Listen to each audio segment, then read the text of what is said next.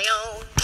Filling my time with fun things is really not that tough. But finding that one new passion is proving to be rough. I've done puzzles, tried juggling, coloring magic too. Video chat is fun, especially when it's with you. Gaming, binge watching, I even tried croquet. But nothing has been quite as fun as my new hobby called crochet. Crochet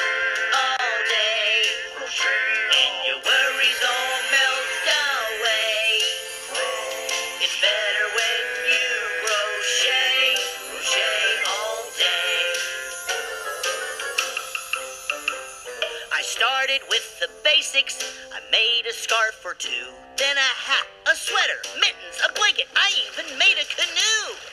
Then I got creative. Now don't you call it weird? I covered the walls, made clothes for my dolls, crocheted myself a beard. I made pizza, a salad.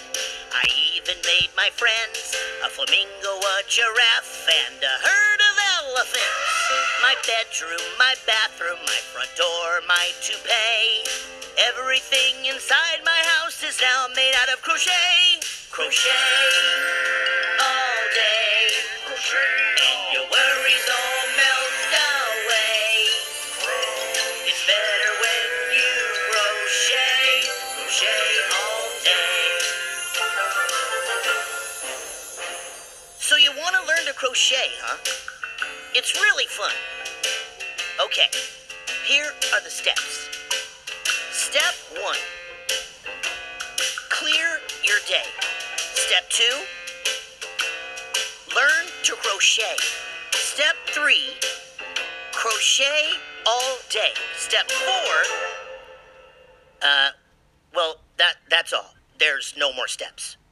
Just crochet. Crochet all day.